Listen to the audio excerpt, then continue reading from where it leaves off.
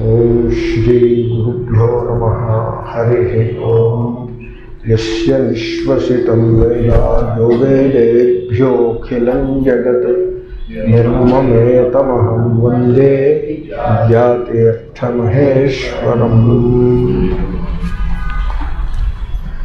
विवेके जाग्रत सती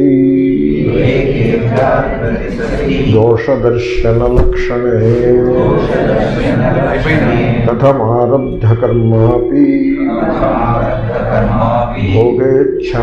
जनयिष्य नैष दोषो यतोऽनेकविधम् प्रारब्धमीक्ष्यते। దోషో నిచ్ఛా ప్రారబ్ధం త్రివిధం స్మృతం విద్యారణ్య స్వామి కొంచెం ఛాదస్థంగా ఓ చర్చలో పడ్డారు. ఈ చర్చ ఏమిటంటే జ్ఞానికి ప్రారంధ కర్మ ఉంటుందా ఉండదా? From one standpoint of view ఉంటుంది. ఉంటుందని చెప్పాలి మీరు. లేకపోతే ప్రమాదం ఏమిటో తెలుసునండి. జ్ఞానికి ప్రారంధ కర్మ లేదనుకోండి వెంటనే అలా జ్ఞానం ఉదయిస్తూనే ఠారుమని చచ్చిపోతాడు.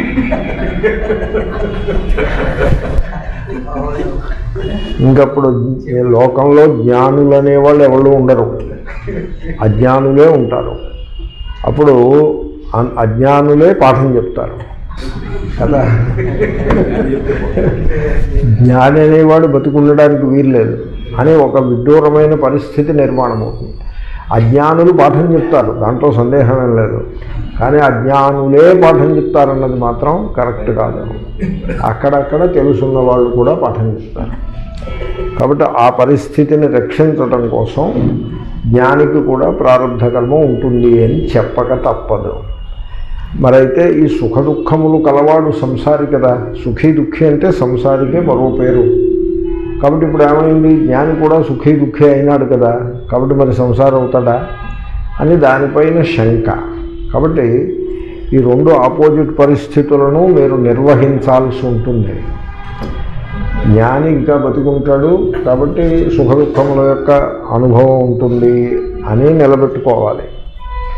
జ్ఞానికి సుఖ దుఃఖములకు అతీతంగా ఉండడం అన్నది ఆయన సహజ లక్షణం అనేది కూడా నిలబెట్టుకోవాలి. ఈ రెండింటినీ మనం నిలబెట్టుకోవాల్సి ఉంటుంది.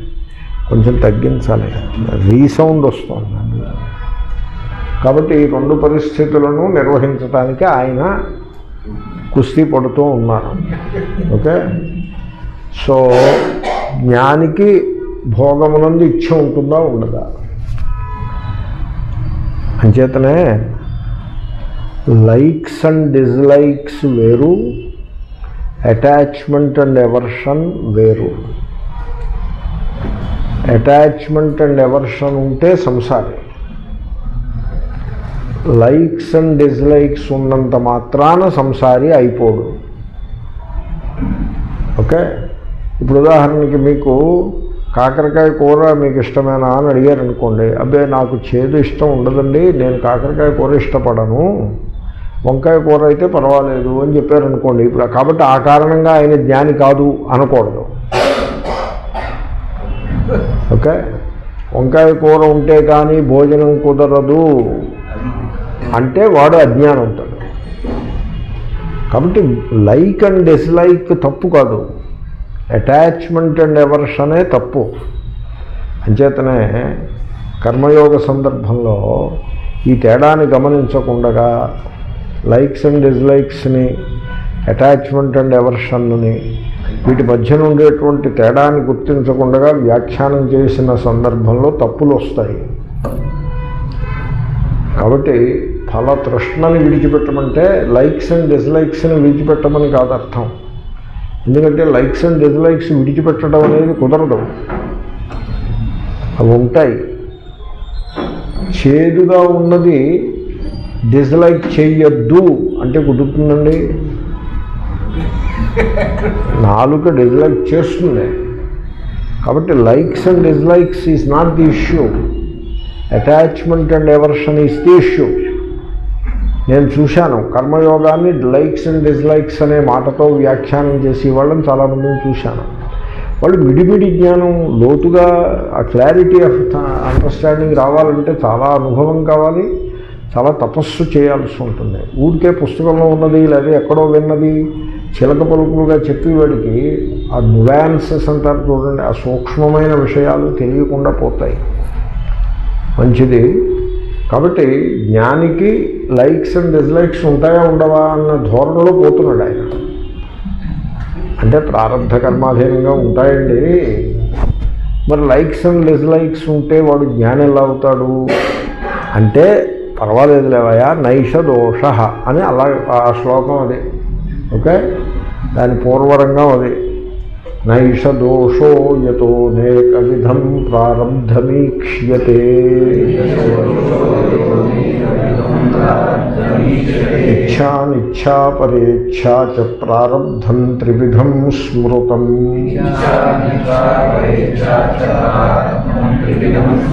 నా ఏష దోష యత అనేక విధం ప్రారబ్ధం వీక్ష్యతే ఇచ్ఛా అనిచ్ఛా పరేచ్ఛా చ ప్రారబ్ధం త్రివిధం స్మృతం ఏష ఇది అనగా జ్ఞానికి ఇష్టానిష్టములు ఉండుట నా దోష తప్పు కాదు యత ఏలయనగా ప్రారబ్ధం ప్రారబ్ధము అనేక విధం అనేక విధములుగా వీక్ష్యతే తెలియబడుచున్నది ప్రారంభం అనేక విధాలుగా ఉంటుంది. అజ్ఞానికి ఉండే ప్రారంభమును జ్ఞానికి ఉండే ప్రారంభం ఒక్కలాగే ఉండక్కర్లేదు. కాబట్టి ప్రారంభంలో తేడాలు ఉంటాయి కనుక ఆ ప్రారంధాన్ని బట్టి జ్ఞానికి కూడా ఇష్ట అనిష్టములు అంటే ఇది ఇష్టము ఇది అనిష్టము. ఇప్పుడు కారం ఎక్కువ వేశారనుకోండి నాకు కారం ఎక్కువ ఇష్టం కాదు అంటే వాడు అజ్ఞానం అయిపోతాడు ఆ మాత్రం చేత? లేకపోతే నాకేమో వెల్లుల్లిపాయ ఇష్టం కాదు అంటే అదేమిటి? మీరు ఇష్టానిష్టాల గురించి మాట్లాడుతున్నారు ఏమిటి? మీరు జ్ఞానులు కదా వెల్లుల్లిపాయ పచ్చడి చేసినా కూడా మీరు తినేయాలి కదా అని అనొచ్చా? అలా కాదు. కాబట్టి ఈ సంసారుల ఇష్టానిష్టముల వంటివి కాదు ఇవి సంసారులకి ఇష్టానిష్టములు ఉంటాయి తర్వాత ఆసక్తి ద్వేషములు ఉంటాయి రాగద్వేషములు ఉంటాయి. రాగద్వేషములను this is the point I wanted to make రాగద్వేషములను likes and dislikes అని మీరు ట్రాన్స్లేట్ చేస్తే అది చాలా తప్పు అవుతుంది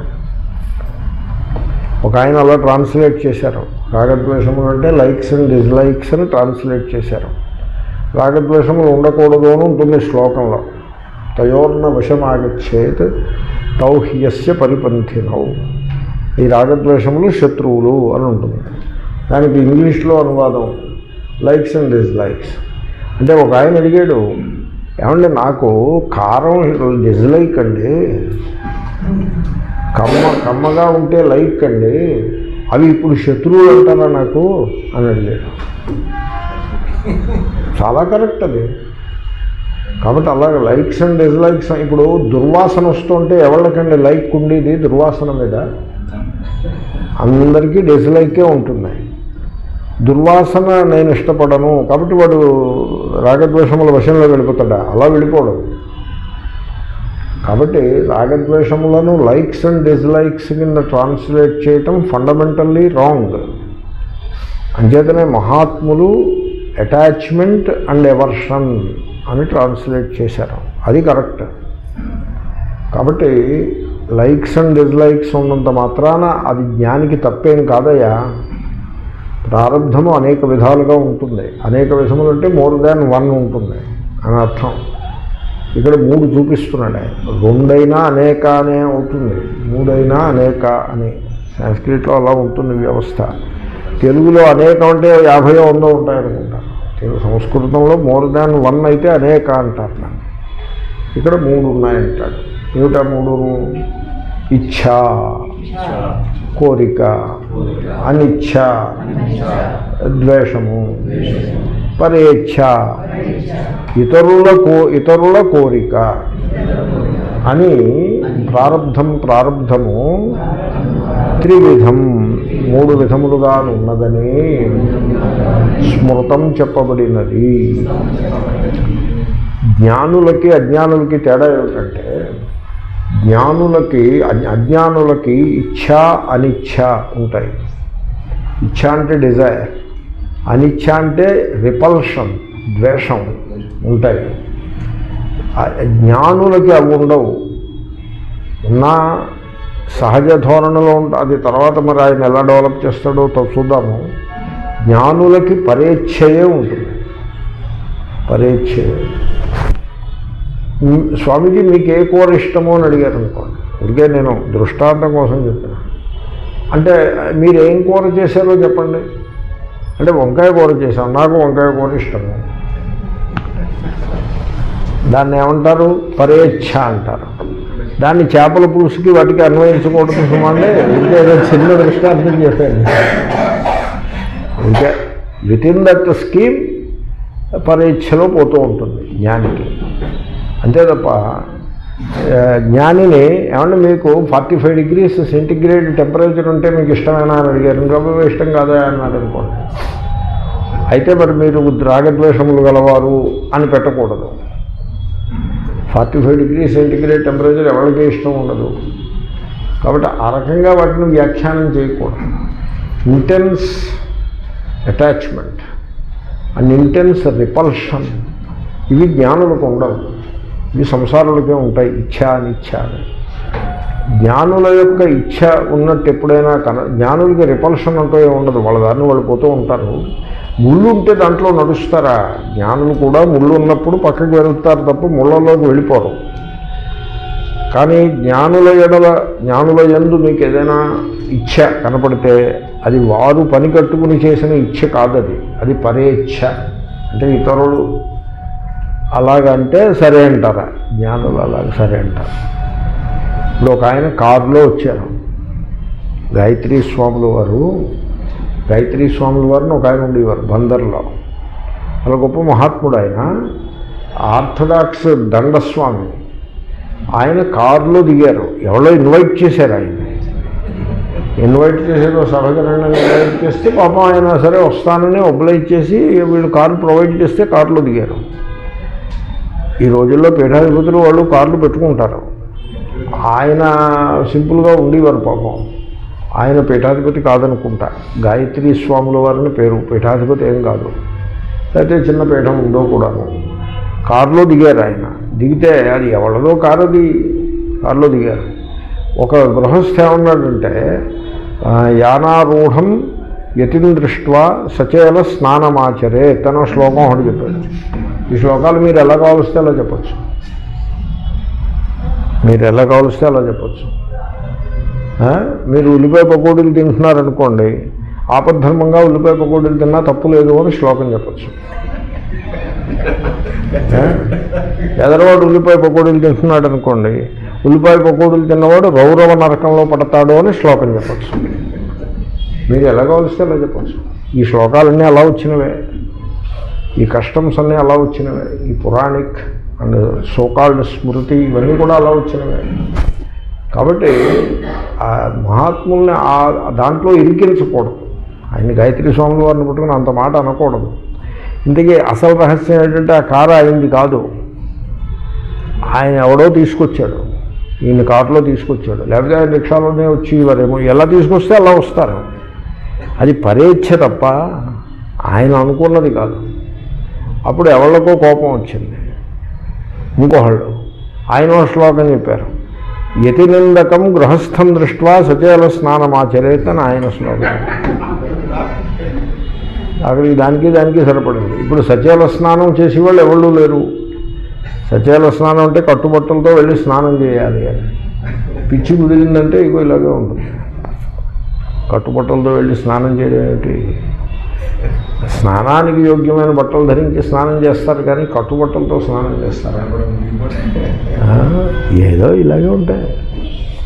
కాబట్టి ఈ పరేచ్ఛ అనేది ఒకటి ఉంటుంది. మహాత్ములకు ఉండేది పరేచ్ఛయే. కాబట్టి వారి ప్రారంధమును రాగద్వేషముల కేటగిరీలో మీరు పెట్టవద్దు అని తాత్పర్యం ఏదో చర్చ.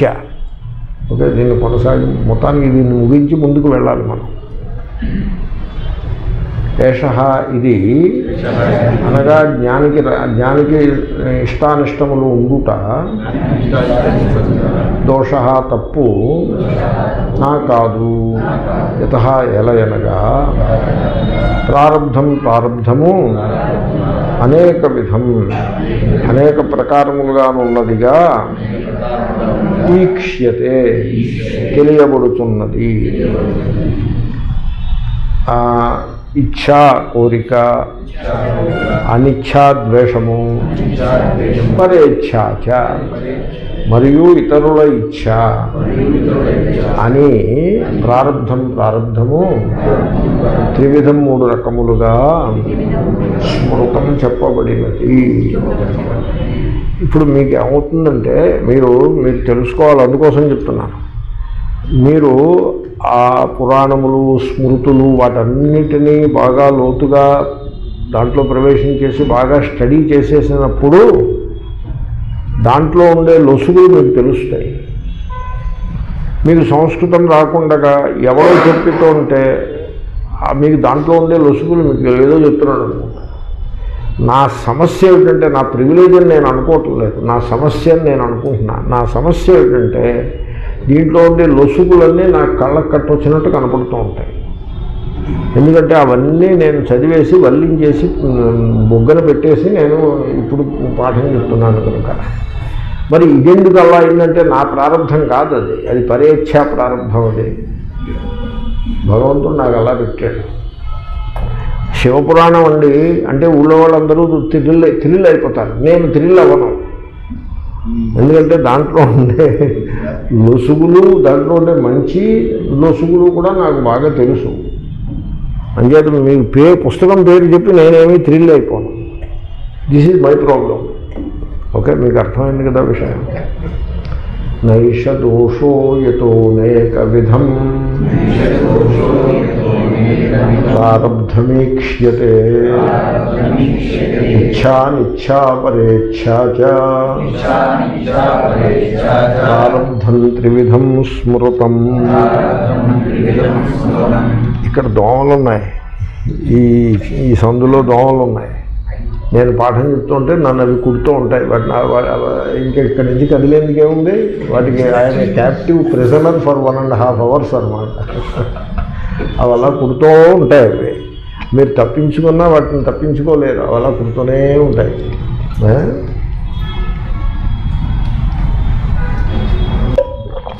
మీకు మళ్ళీ పని పెట్టినట్టున్నాను నేను. మాసం ఏదో రాసుకుంటే కొంత కవర్. అవుతుంది అవును.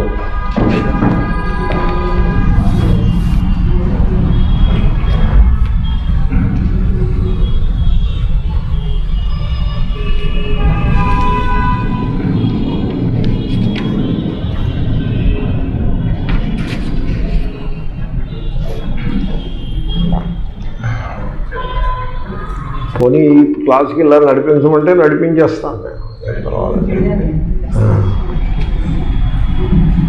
మార్కెట్కి వెళ్ళక్కర్లేదు ఇక్కడ ఉంటే నాకు ఇవ్వండి.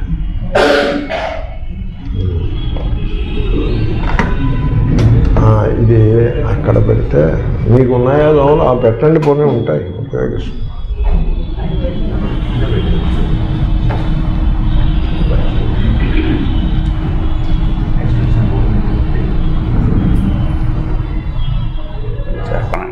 ఉమ్, నేనే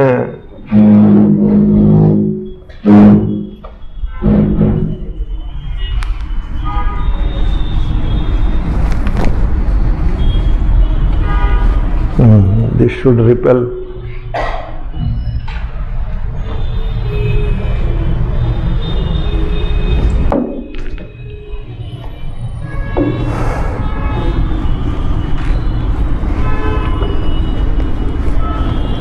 నిన్న శివ శివానంద ఆశ్రమంలో వాళ్ళు ఏదో వ్యవస్థ చేశారు. దాంతో దోమల బాధ లేకుండా పాఠం నడిచింది. ఇప్పుడు కూడా అలాగే నడుస్తుంది ఈ వ్యవస్థ చేసినారు కనుక. నచేశ్వరత్వమీశస్య హీయతే తావతాయత అవశ్యం భావితాప్యేషాం ఈశ్వరేణైవ నిర్మిత మళ్ళీ ఇంకో సమస్య లేవనెత్తుకున్నారు ఆయన ఇవన్నీ కన్వెన్షనల్ ప్రాబ్లమ్స్ ఇప్పుడు మీకు సుఖం వచ్చినా దుఃఖం వచ్చినా మీరు చేసిన కర్మను బట్టి వస్తుందా? లేకపోతే ఈశ్వరుడు ఇస్తే వస్తుందా? అలాంటి ప్రశ్నలకి ఎక్స్క్లూజివ్ ఆన్సర్స్ ఉండవు. మీరు చేసిన కర్మను బట్టే వస్తాయి సుఖ దుఃఖాలు. అని అలా అడిగితే అలా చెప్తాం. ఈశ్వరుడు ఇస్తే వస్తుందా? ఈశ్వరుడు ఇస్తేనే వస్తుంది. మరి దా అదే ఇదే. కాబట్టి ఇలాంటి ప్రశ్నల్లో మనం చిక్కుకోకూడదు. ఏ, అప్పుడు మీరు ఏమన్నారు చేసిన కర్మను బట్టే వచ్చింది అని చెప్పారనుకోండి. అయితే మరి ఈశ్వరుడు గొప్ప ఎందుకు? ఇంకా ఈశ్వరుడు ఎందుకు? పైగా ఈశ్వరుడికి డెఫినేషన్ ఏమిటంటే కర్మఫలదాత అని డెఫినేషన్ ఇవన్నీ ప్రాబ్లమ్స్ అండి.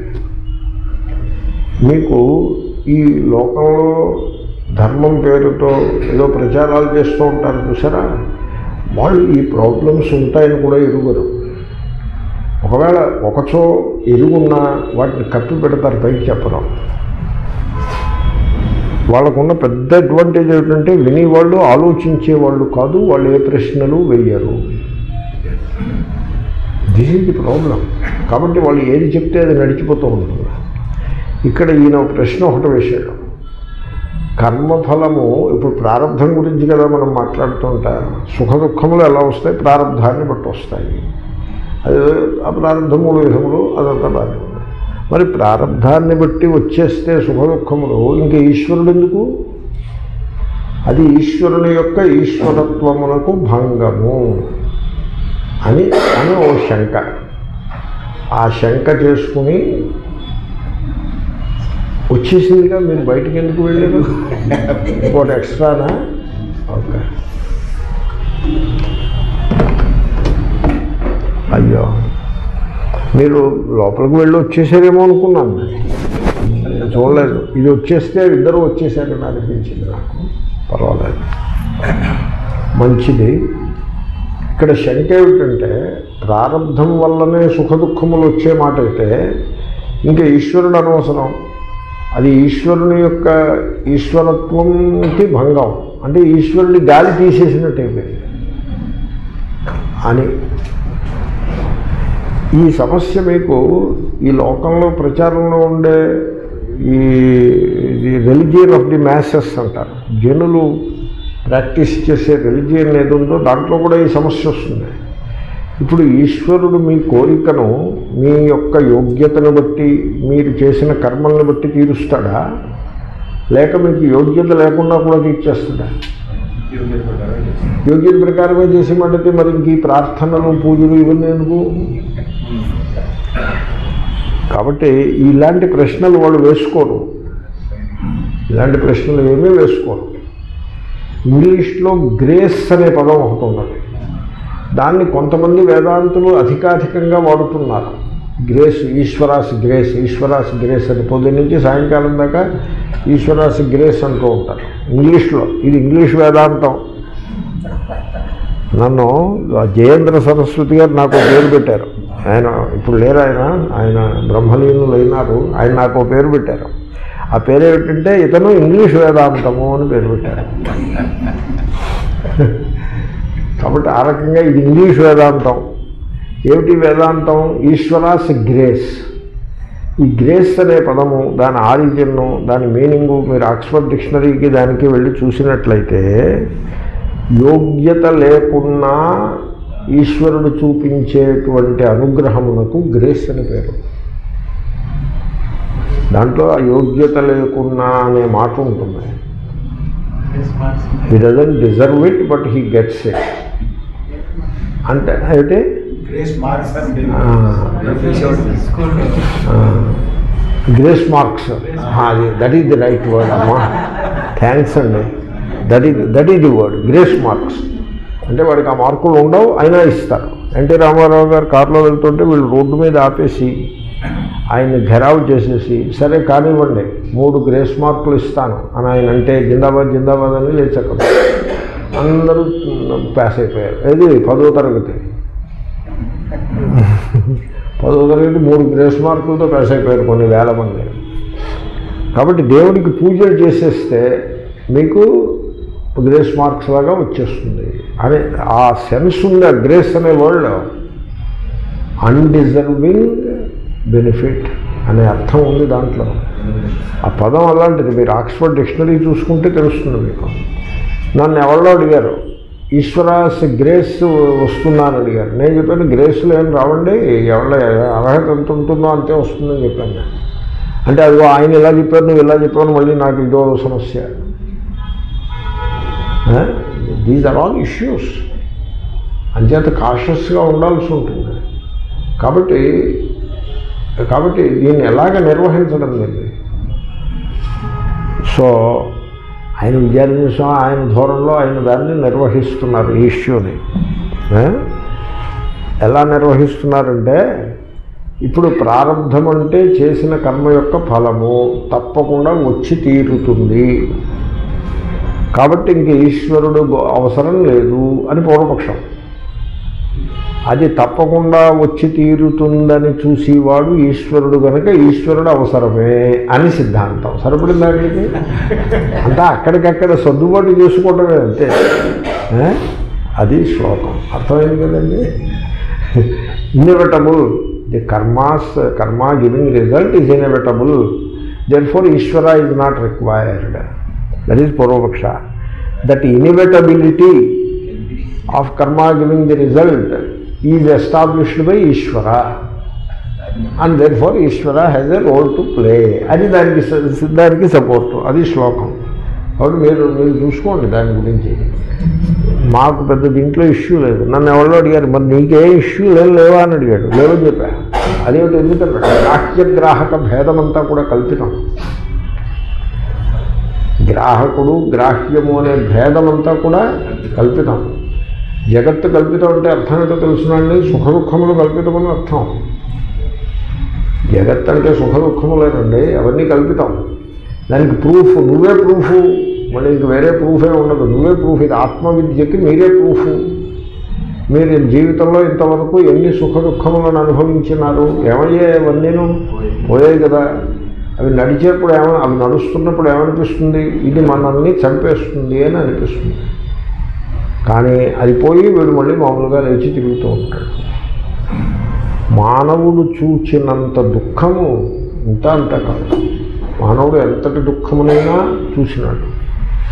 చూసి అంచేతనే మానవుడు గతంలో ఎన్ని దుఃఖాలను ఎదుర్కొన్నాడో ఆలోచిస్తే చెప్పశక్యం కాదు. దాన్ని బట్టి మానవునికి ఉన్న that that power of power of endurance that endurance అంటారే అది ట్రెమెండస్ ఎండ్యూరెన్స్ ఉన్నది. అది మీలో దాగి ఉంటుంది ఆ ఎండ్యూరెన్స్ మీలో ఇన్ఫినిట్ ఎండ్యూరెన్స్ ఉంటుంది. మీరు ఊహ చేయలేనంత ఎండ్యూరెన్స్ ఉంటుంది మీకు. మీలో దాగి ఉంటుంది. అది క్రమక్రమంగా బయటకు వస్తుంది.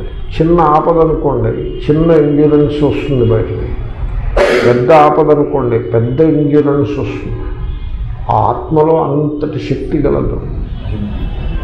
అంచేతనే ఆ ఇంజురెన్స్ అది ఈ దైవీ లక్షణం అది దైవీ గుణం అది. ఆ దేవత పరమాత్మ నుంచి వస్తుంది ఆ శక్తి అంతా కూడా. కాబట్టి మానవ స్వరూపంలో ఉన్నాయన్నీ కూడా. ఈ సుఖ దుఃఖములన్నీ కూడా ఇవన్నీ కూడా కల్పితములు. మీరే చూసుకోండి. మీరు వర్షంలో తడుస్తున్నారనుకోండి గొడుగున్న వాడిని చూసి మీరు దుఃఖాన్ని అనుభవిస్తున్నాను అనుకుంటారు అసలు వస్త్రములు కూడా లేకుండా వర్షంలో తడిసిపోతూ వణికిపోతున్న వాడిని చూసి నేను సుఖంగానే ఉన్నానని అనుకుంటారు ఈ సుఖ దుఃఖములు అనేవి అవి అబ్సల్యూటేవి కావు. దే ఆర్ రిలేటివ్ మీరు వాటికి సుఖము అనే ఒక పేరు పెడితే కానీ అది సుఖం అవ్వదు పేరు పెడితేనే సుఖం అవుతుంది. దుఃఖము అని పేరు పెడితేనే దుఃఖం అవుతుంది నేను ఫిజికల్ పెయిన్ గురించి చెప్పట్లేదు. గిల్లి ఇది సుఖం అని అనుకోమంటే కుదరదు. నేను సైకలాజికల్ పెయిన్ గురించి చెప్తున్నా. Psychological pain is pain only because you call it pain. మీరు అది పెయిన్ అని అనుకోకపోతే అది పెయినే కాదు. కాబట్టి ఈ సుఖ దుఃఖములు అనేవి అవి అబ్సల్యూట్ కాదవి ఈ చర్చలన్నీ ఎలా ఉంటాయంటే అవి అబ్సల్యూట్ అనే బేసిస్ మీద ఉంటాయి. అసలు అవి అబ్సల్యూటే కాదు. కాబట్టి మాకు ఈ సందేహాలు సమాధానాలు అక్కర్లేదు. వేదాంతులకు అక్కర్లేదు. కానీ లౌకికులకు ఇలాంటివేమో కొన్ని సందేహాలు ఉంటాయి ఆయన కొంత చేతస్థం బ్రాహ్మణుడు ఆయన ఆయన వీటిని నిర్వహిస్తున్నారు. కాబట్టి ఆ శ్లోకాలని మనం ముందుకు తీసుకువెళ్ళాల్సి ఉంటుంది. ఓకే? నచే నా పదచ్ఛేదం నా చ ఈశ్వరత్వం ఈశస్య హీయతే తావత యత అవశ్యం భావిత అపి ఏషాం ఈశ్వరేణ ఏవా నిర్మిత తావత అంతరం అంతమాత్రము చేత అనగా సుఖ దుఃఖములు కర్మాధీనములైనంత మాత్రము చే. ఈశస్య ఈశ్వరుని యొక్క ఈశ్వరత్వం ఈశ్వర అనే స్టేటస్ నహీయతే తగ్గిపోదు. అర్థమైందండి? సుఖ దుఃఖములు కర్మాధీనములు అని అన్నంత మాత్రాన ఈశ్వరుని యొక్క స్టేటస్ ఆ ఈశ్వరత్వం ఉంటుంది ఆ ఈశ్వరుని స్టేటస్. అంత మాత్రం చేత అది తగ్గిపోదు. ఇది మీమాంస కర్మ మీమాంసకులు ఏమన్నారంటే ఈశ్వరుడు వద్దన్నారు వాళ్ళు. ఈశ్వరుడు లేడు వాళ్ళకి బ్రహ్మనాస్తికులు అని పేరు. ఎందుకంటే వాళ్ళకి సమస్య వచ్చింది. వాళ్ళు దార్శనికులు కదా. దార్శనికులు వేరు ఈ పురాణం కథలు చెప్పుకునేవాళ్ళు వేరు. కథలు చెప్పుకునే వాళ్ళకి కాంట్రడిక్షన్స్ అనే ఆలోచనే ఉండదు. వాళ్ళు చెప్పే ప్రతి మాట కాంట్రడిక్షనే ఇంకా కాంట్రడిక్షన్ అనే ఆలోచన ఏం పెట్టుకుంటారు వాళ్ళు? వాళ్ళు ఏదో ఒక రకమైన సెన్సేషన్లో పడి కొట్టుకుపోతూ ఉంటారు. ఆలోచించడం కాంట్రడిక్షన్స్ ఉన్నాయి కథలో అని అలాగే ఏమి ఉండదు. కథలో కాంట్రడిక్షన్స్ ఉంటాయి. అప్పుడప్పుడు ఈ సినిమాలు తీస్తారు. ఆ సినిమాలో ప్లాట్లో కాంట్రడిక్షన్ ఉంటుంది. ఆ ప్లాట్ అలా అవడానికి వీల్లేదు దా ఆ సీక్వెన్స్ ఆఫ్ ఈవెంట్స్ ప్రాపర్గా ఉండవు. కాంట్రడిక్షన్స్ ఉంటాయి. ఆ కాంట్రడిక్షన్స్ని ఆ దర్శకుడు సరిగ్గా రిజాల్వ్ చేయడు. సరిగ్గా రిజాల్వ్ చేయడు. మేము ఇవన్నీ పరిశీలించే వాళ్ళం చిన్నప్పుడు. పెద్ద క్రిటిక్స్ కింద ఉండి. క్రిటిక్ అంటే క్రిటిక్ క్రిటిక్ క్రిటిక్ కాదు క్రిటిక్.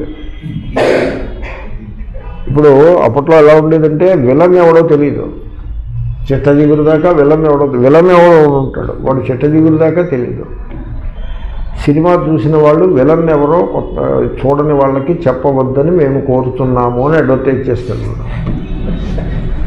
ఎందుకంటే మీకు ప్రారంభం నుంచి విలన్ ఎవరో తెలిసిపోతే మీకు కథలో ఇంకా మజా ఏమి ఉండదు. వాడు చాలా మంచివాడులాగా చలామణి అవుతూ ఉంటాడు. ఆఖరిని వాడు విలన్గా తేల్తాడు. వాడు విలన్గా తేలిన తర్వాత ఇంక సినిమా పది నిమిషాల్లో అయిపోతుంది. కాబట్టి ముందే మీకు తెలిసిందనుకోండి ఇంకా ఆ- సినిమాలో పస ఉండదు. కాబట్టి చెప్పొద్దు అని రిక్వెస్ట్ అడ్వర్టైజ్మెంట్. ఈ సినిమా చూసి వచ్చిన వాడిని మేమే అది నువ్వు విలన్ పేరు చెప్పి మరి దక్కదు మే ఎందుకంటే మేము రేపో ఎల్లుండి వెళ్ళాలనుకుంటున్నాము వెళ్ళండి ఎవరో చెప్పడానికి వీరలేదు సరే ఆ ఇంతకీ అలా ఆ విలన్ ఎవరవుతారో చెప్పమంటారా? గుమ్మడి అవుతాడు.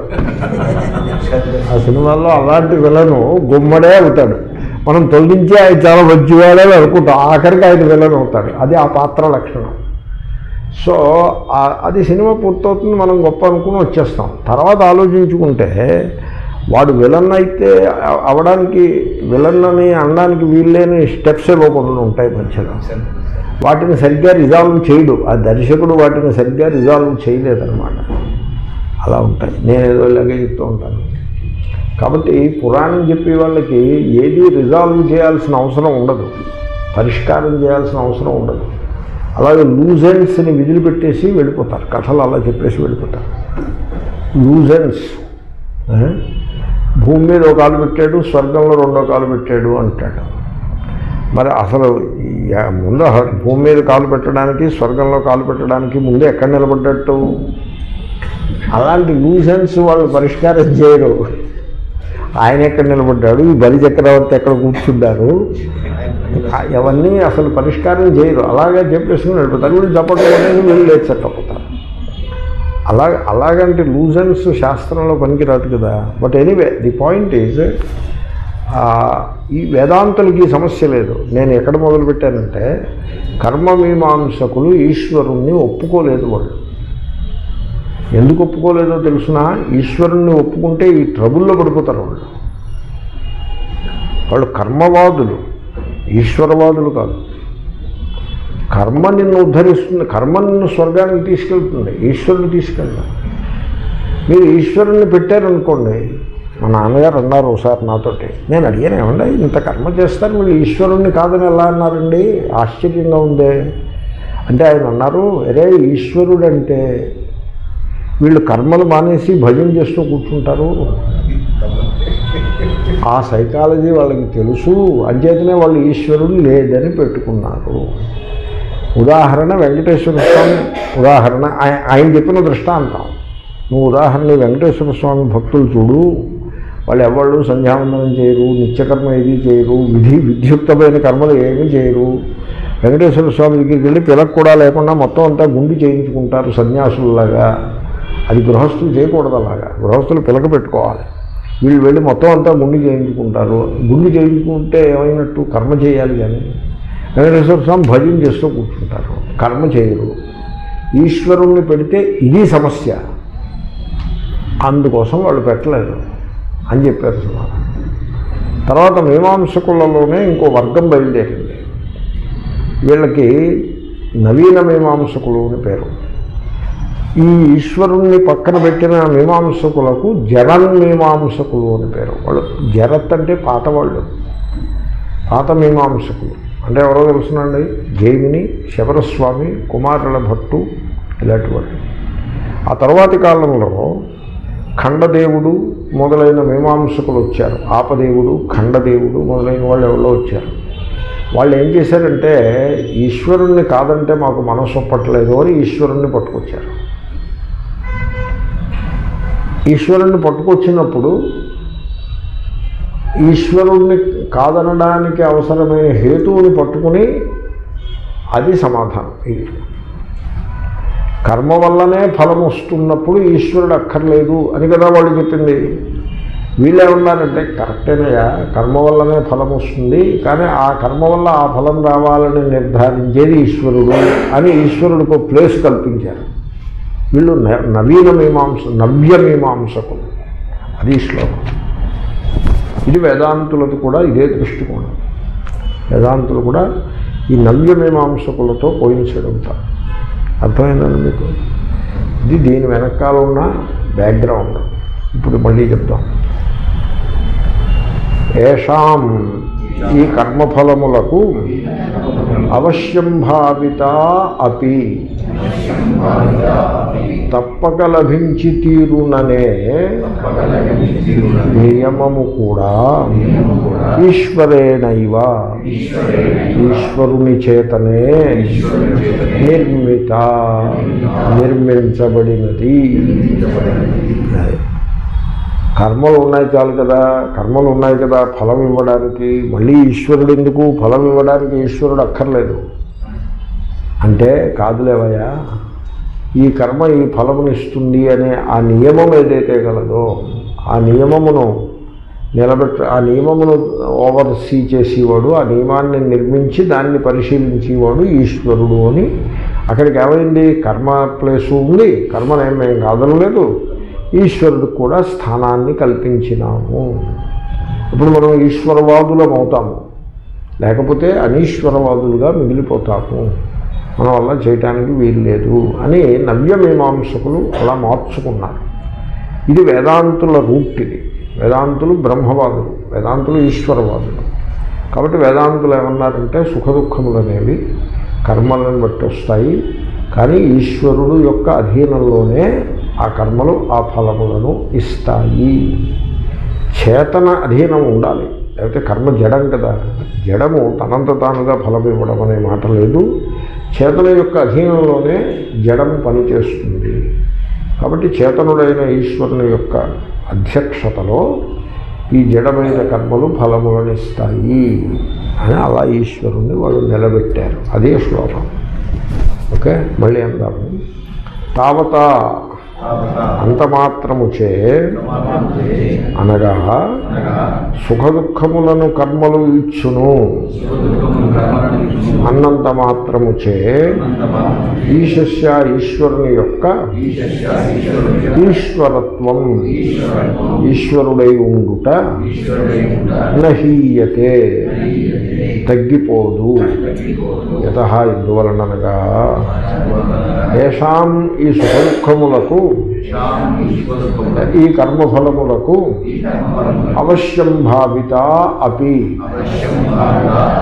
తప్పక లభించి తీరుననే నియమము కూడా. ఈశ్వరేనైవ ఈశ్వరుని చేతనే నిర్మిత నిర్మించబడినది. అంచేతనే పెద్దలు ఏమంటారంటే ఫలము లభించిందంటే కేవలం ఒక్క హేతువు చేత లభించదు అనేక హేతువులు ఉంటాయి దాంట్లో. మనం ఏమనుకుంటాం? ఈ కర్తృత్వ దృష్టి అలా ఉంటుంది. నేను చేశాను పొందాను అంటాడు. నేను చేశాను పొందాను కష్టపడ్డాను నాకు లభించింది అంటాడు. అంటే ఏమైనట్టు ఇక్కడికి కర్మను బట్టి కర్మఫలం వచ్చేసింది. అంటే కర్మ అనేది ఒక్కటే హేతువు. అన్నట్టుగా చెప్తారు. తప్పది. Karma is one of the many factors. Many.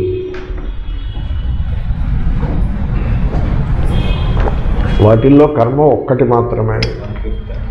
ఈశ్వరుడు ఉంటాడు ఇంకా ప్రకృతి ఉంటుంది మరొకటి ఉంటుంది మరో లక్ష ఫ్యాక్టర్స్ ఉంటాయి. కాబట్టి కర్మ ఒక్కటే కర్మ మాత్రమే ఫ్యాక్టరు కాదు అన్నప్పుడు ఇంకా కర్తృత్వానికి విలువ పోయింది చూడండి ఇంకా కర్తృత్వం ఏమున్నది? కర్తృత్వం కర్మ అంతేగా. కర్మ యొక్క రోలు చాలా తక్కువ చేసినప్పుడు కర్తృత్వం రోలు కూడా పోతుంది. అలా. అక్కడికి ఆ టాపిక్ని మనం సెటిల్ చేసినాము. ఇక భర్జితాని తు బీజాని సంత్యకార్యకరాని చ విద్వదిచ్ఛా తేష్టవ్యా అసత్వబోధాన్న కార్యకృత్ మళ్ళీ ఇంకో శంక ఏమంటే జ్ఞానము కర్మలనన్నింటినీ నశింపజేస్తుందని అన్నారు కదా. జ్ఞానాగ్ని సర్వకర్మాన్ని భస్మసాత్ కురితే అర్జున కర్మలనన్నింటినీ నశింపజేసేస్తే ఇంకా మళ్ళీ జ్ఞానికి ఇంకా కర్మలు ఉండకూడదు కాబట్టి ఇంకా సుఖ దుఃఖములు ఉండరాదు అనే ఇష్యూ వస్తుంది కదా. అంటే కాదు కర్మలు ఉన్నాయి. సుఖ దుఃఖం జ్ఞానం మరి జ్ఞానం వస్తూనే పోకూడదు కదా. జ్ఞానం వస్తూనే పోతాడు అని కనుగన్నట్లయితే ఎవళ్ళు వేదాంత క్లాసుకి రారు. ఇంకా పోయి ముందు డాక్టర్ ఇంక నువ్వు రెండు రోజుల్లో పోతావని చెప్పినప్పుడు స్వామీజీ కబురు పెడతారు. ఏదంటారు? ఓ సన్యాసం ఉంది. దాని పేరు ఆపత్ సన్యాసం. అంటే ఆయనకి సన్యాసం తీసుకుంటే మనకి మోక్షం వస్తుందని ఏదో ఒక విశ్వాసము కలదు. ఈ విశ్వాసం చాలా ఎక్కువగా ఉండడం నేను గమనించా.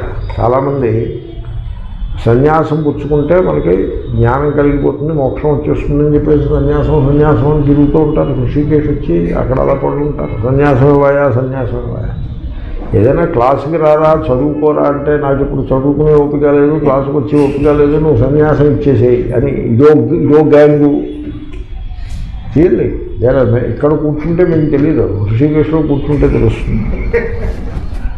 ఎనీవే సో దీని మీద ఇంకొకటి కూడా ఉన్నది. ఇప్పుడు జ్యోతిష్టోమం చేస్తే స్వర్గం వస్తుందన్నారు కదా.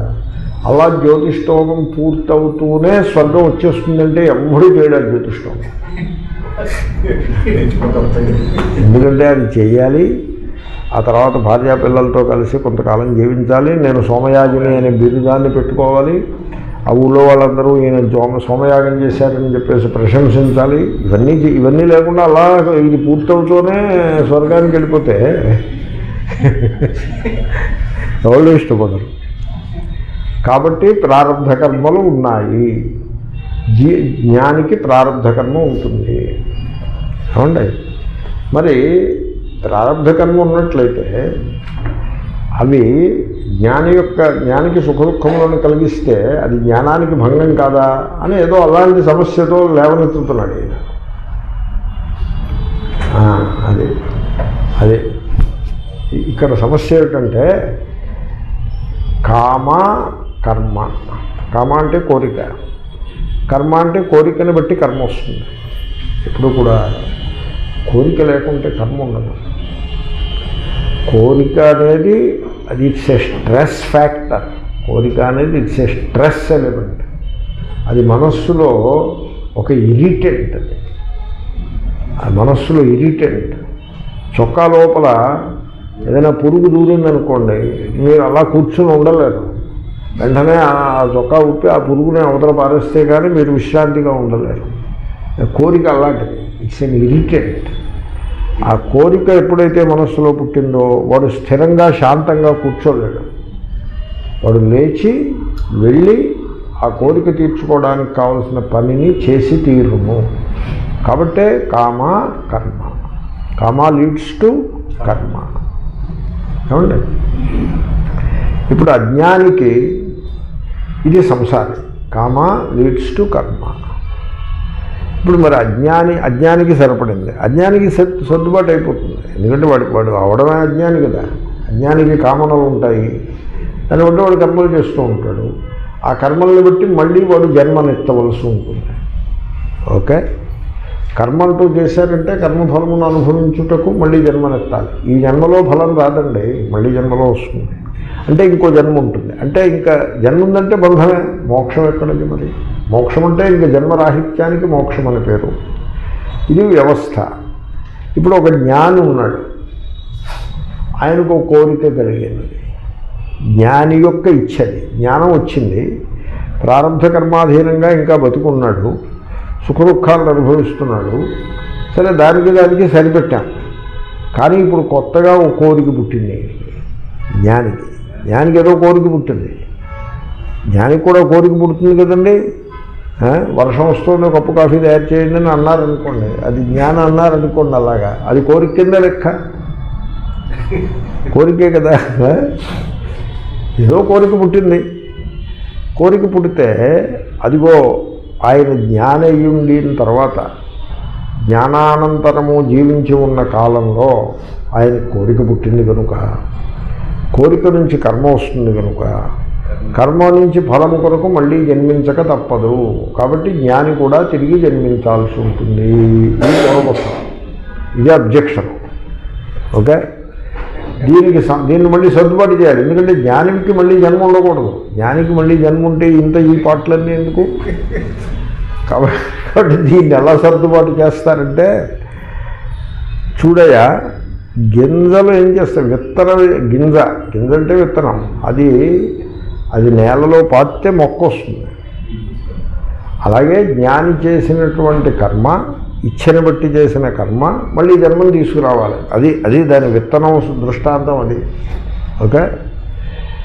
ఈ సంసారుల యొక్క కర్మలు వాళ్ళ కోరికలు సంసారుల యొక్క కోరికలు అవి కర్మల రూపంగా పరిణమించి మళ్ళీ జన్మని పట్టుకొస్తాయి. అదే పరిస్థితి జ్ఞానికి కూడా ఉండదా? అది ప్రశ్న. సమాధానం ఉండదు. ఎందువల్ల?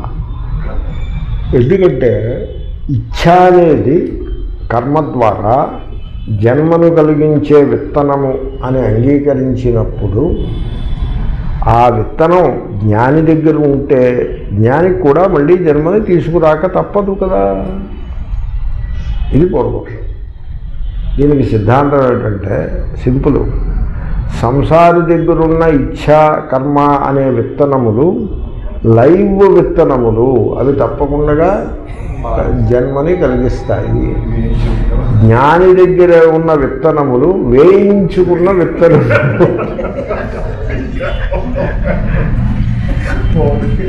వేరుశనక్కాయలు పచ్చిగా అట్ట పెడితే మొక్కలు వస్తాయి.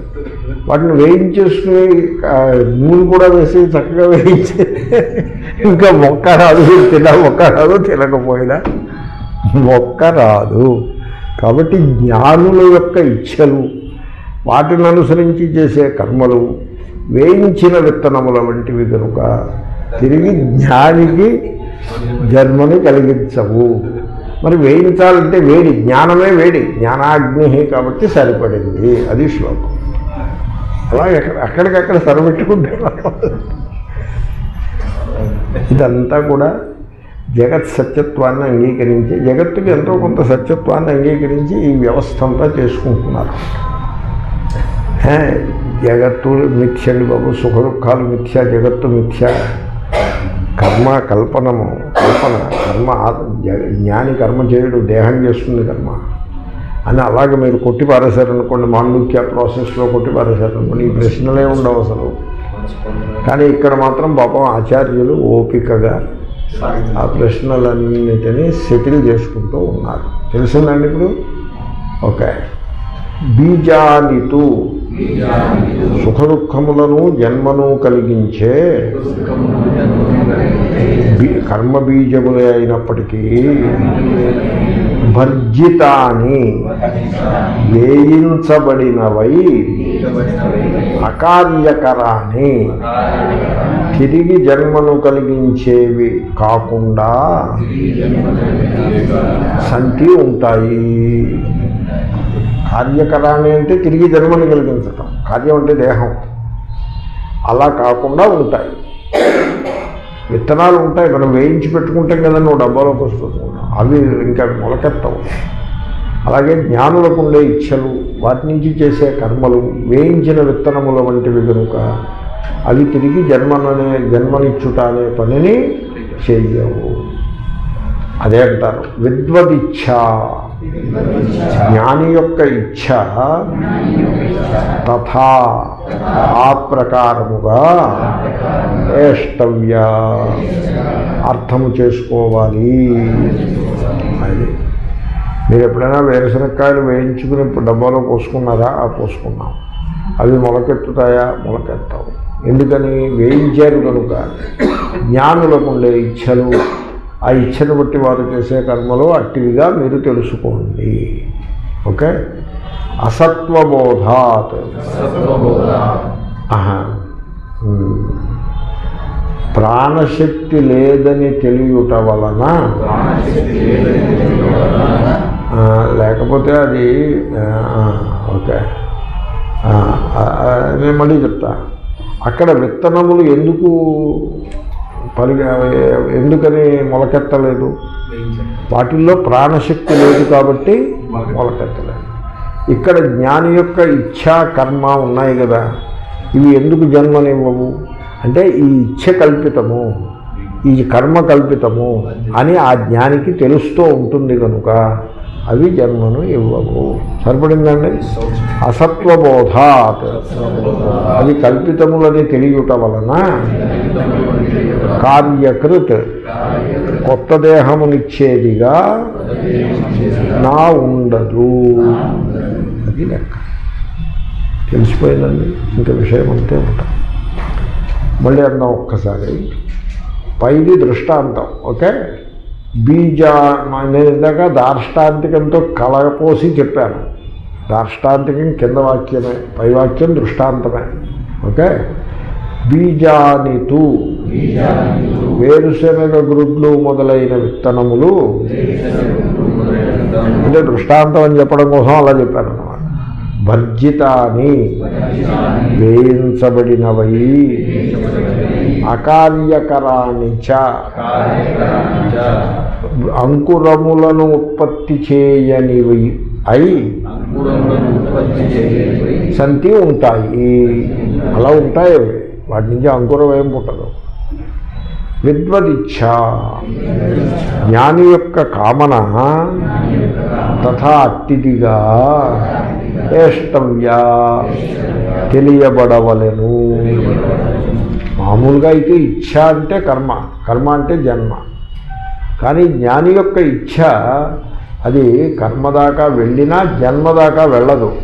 ఎందుకంటే అది వేయించిన గింజల వంటిది. అది ఎలాగా అంటే అసత్వబోధాత్. వాటికి వాస్తవికత లేదు. అని తెలియట వలన కార్యకృత్ జన్మనిచ్చేదిగా నా ఉండదు. సరిపడిందండి? భర్జితాని తు బీజాని సంత్యకార్యకరాణి చ యద్వదిచ్ఛా తథేష్టవ్యా అసత్వబోధాన్న కార్యకృత్ ఏమండి ఈ ఓడోమాస్కి చాలా శక్తి ఉందండి. There is a big difference నా ఇప్పుడు అవి ఏమైపోయాయో తెలియదు ఎక్కడికో వెళ్ళిపోయి ఉంటాయి ఇంకా కుట్టట్లేదు అవి ఇటో పారిపోయి ఉంటాయి. ఇంకా కుట్టట్లేదు. You are comfortable very nice thank you మిమ్మల్ని అందరినీ చూసి నేను కూడా ఓ సెల్ ఫోన్ పెట్టుకున్నా ఈ మధ్య. కానీ అది ఇటు అటు తీసుకెళ్ళట్లేదు. దాని తలక దాని పీకి నొక్కేసి అది టేబుల్ మీద పడేసెట్టు పెట్టారు. ఉంది సెల్ ఫోన్ అయితే ఉంది కానీ అది ఎప్పుడూ ఆఫే ఉంటుంది అది. యదభావిన న తద్భావి భావి చేన్న తదన్యథా ఇది చింతా విషఘ్నోయం బోధో భ్రమ నివర్తక చూడండి ఇప్పుడు ఆయన వేదాంతం దగ్గరికి వస్తున్నారు. ఈ పరి సమస్యలన్నీ పరిష్కరించి మీకు మాకు ఏదైనా ఉపాయం చెప్పండి ఈ సుఖ దుఃఖముల బంధం నుంచి బయటపడే ఉపాయం చెప్పండి. ఈ వర్రి జనులను వర్రి పీడిస్తూ ఉంటుంది. వర్రి వర్రి అసలైన పదం anxiety that is the right word people are anxious ఎలాగో యాంక్షస్ తెలిసిన? హై స్కూల్లో ఉన్నప్పుడు కాలేజీలో మంచి మార్కులు వస్తాయో రావో అని యాంక్షస్ మంచి మార్కులు వచ్చాక మంచి కాలేజీలో సీట్ వస్తుందో రాదో అని యాంక్షస్ ఎందుకంటే మంచి మార్కులు వచ్చిన వాళ్ళు వీడు ఒక్కడే కాదుగా చాలామంది ఉంటారు. మంచి కాలేజీలు ఏవో ఒకటో రెండో ఉంటాయి. ఏదో కాలేజీలో చదువుకుందాం అనుకుంటే పర్వాలేదు. అలా అనుకోడుగా? అలా అనుకుంటే వర్రీ ఎందుకు ఉంటుంది? వర్రీలన్నీ బతకలేడు మనిషి. వర్రీనికి సృష్టించుకుని వర్రీ అవుతూ అలా యాంగ్షియస్గా బతుకుతాడు. మనిషి లక్షణం అది. కాబట్టి మంచి కాలేజీలో సీట్ వస్తుందో రాదో అని యాంగ్షియస్ పేరెంట్స్ పిల్లాడు కూడా. మంచి కాలేజీలో చేరిన తర్వాత మళ్ళీ పై పైన. దాని గురించి యాంగ్షియస్ ఆ పైది అయిన తర్వాత ఉద్యోగం వస్తుందో రాదో అని యాంగ్షియస్ నేను ఒక ఆయన అడిగాను. ఏమండి ఉద్యోగాలు లేవంటున్నారు మరి ఈ చదువు పూర్తయిన తర్వాత మరి మా బతికి ఏమిటి అని అడిగాను నేను. అయితే ఆయన అన్నారు అలా అంటూ ఉంటారయ్యా రైల్లో బాగా జనం ఎక్కేశారు సీట్ లేదు అని నీకు ఫోన్ వచ్చింది అనుకో. రైలు ఎక్కడ మానేస్తావా? స్టేషన్కి వెళ్ళడం మానేస్తావా? స్టేషన్కి వెళ్తావు. జనం ఉంటారు నిండా పెట్టారు ఎవరో దిగుతారు ఎవరో నలుగురు ఐదుగురు దిగుతారు. ఇక్కడ ఎక్కేవాళ్ళు తక్కువ ఉండొచ్చు ఎక్కువ ఉండొచ్చు. ఆ సందులోకి వీడు దూరుతాడు.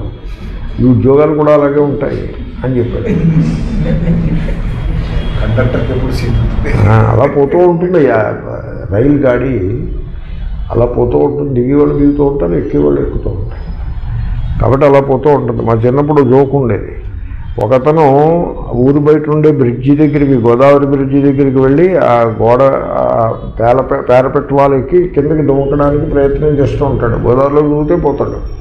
అప్పుడు ఇంకొకటి పరిగెత్తుకుని వెళ్తాడు. ఏమంటే మీరు ఎక్కడ ఉద్యోగం చేస్తున్నారు?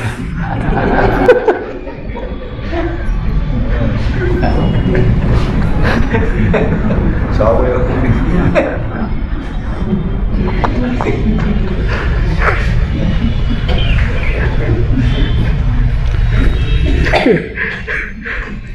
అంటే హ్యూమన్ సైకాలజీని ఈ రచయితలు అంత బాగా పట్టుకుంటారు. నిజంగా చూడండి ఎలా పట్టుకున్నాడు దాన్ని. అయితే